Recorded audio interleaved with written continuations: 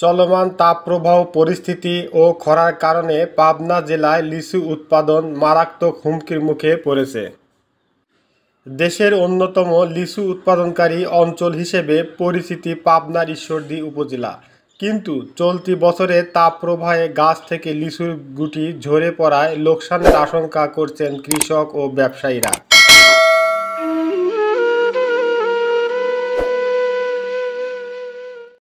চলতি মৌসুমের শুরুতে লিচুর বাম্পার ফলনের আশা করলেও চৈত্র মাসের মাঝামাঝি সময়ের ঝড়ের সঙ্গে শিলাবৃষ্টির কারণে পঞ্চাশ শতাংশ মুকুল ঝরে গেছে। অন্যদিকে গ্রীষ্মের শুরুতে প্রচণ্ড গরমের কারণে লিচুর গুটির একটি বড় অংশ এখন ঝরে পড়ছে। গ্রীষ্মের দাবদাহ অব্যাহত থাকলে এবছর লিচু চাষির বিপুল অঙ্কের লোকসান গুনতে হবে।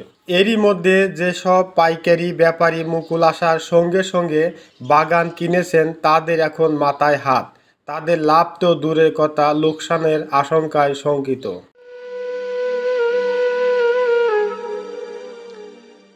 পাবনা জেলা কৃষি সম্প্রসারণ বিভাগ সূত্রে জানা গেছে, এবছর জেলায় চার হাজার দুইশো একুশ হেক্টর জমিতে লিচুর আবাদ হয়েছে।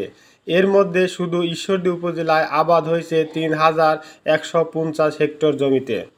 উৎপাদন লক্ষ্যমাত্রা ধরা হয়েছে আটচল্লিশ হাজার আটশো এক টন। পাবনার বিভিন্ন লিচু বাগান ঘুরে জানা গেছে, ফাল্গুনের শুরুতে প্রতিটি লিচু গাছে যথেষ্ট পরিমাণ মুকুল এসেছিল। এবার মুকুল দেখে চাষিদের হাসি ফুটেছিল। গাছে গাছে প্রচুর মুকুল দেখে ব্যাপারীরা আগাম বেশি দামে দিয়ে বাগান কিনে নেয়।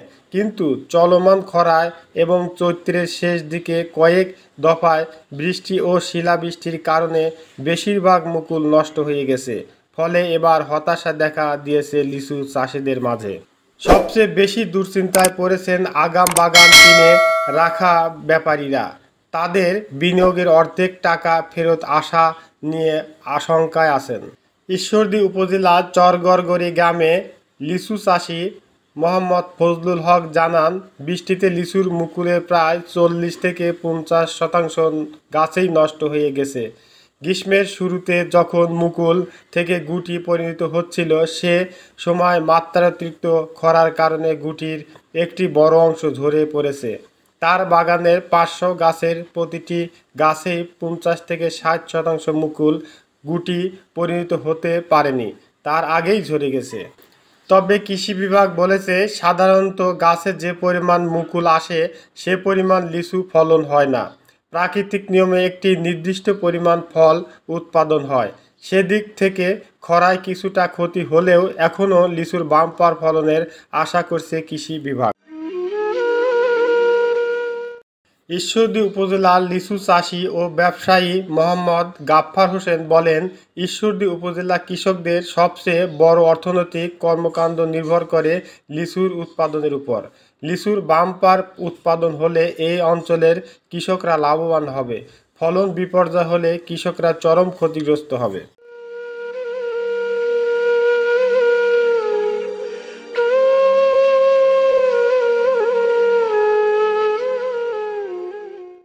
পাবনা জেলা কৃষি সম্প্রসারণ অধিদপ্তরের উপপরিচালক জামাল উদ্দিন বলেন, কৃষকদের দাবি সঠিক নয়। গাছে যে পরিমাণ মুকুল আসে তা থেকে নির্দিষ্ট পরিমাণ ফল হয়, বাকি মুকুল ঝরে যায়। এবছর স্মরণকালের সবচেয়ে বেশি মুকুল এসেছে। যে পরিমাণ মুকুল এসেছে, তার অর্ধেক ফলন হলেও লিচুর ভারে ডাল ভেঙে পড়ার কথা। তবে খরার কারণে লিচুর ক্ষতি হচ্ছে। দাবদাহ যে পর্যায়ে পৌঁছাইছে, তাতে গাছগুলো শুষ্ক হয়ে গেছে। এ অবস্থা থেকে রক্ষা পেতে কৃষকদের প্রতিনিয়ত গাছের উপর দিকে স্প্রে করতে হবে পানি এবং গাছের গোড়ায় পরিমাণ মতো পানি দিতে হবে কৃষকদের উৎসাহিত করা হচ্ছে।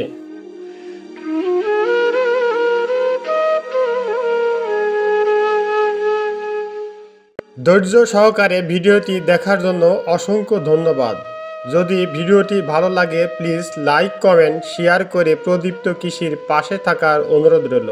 আজ তাহলে এ পর্যন্তই। দেখা হবে নতুন কোনো পর্বে অন্য কোথাও। আল্লাহ হাফেজ।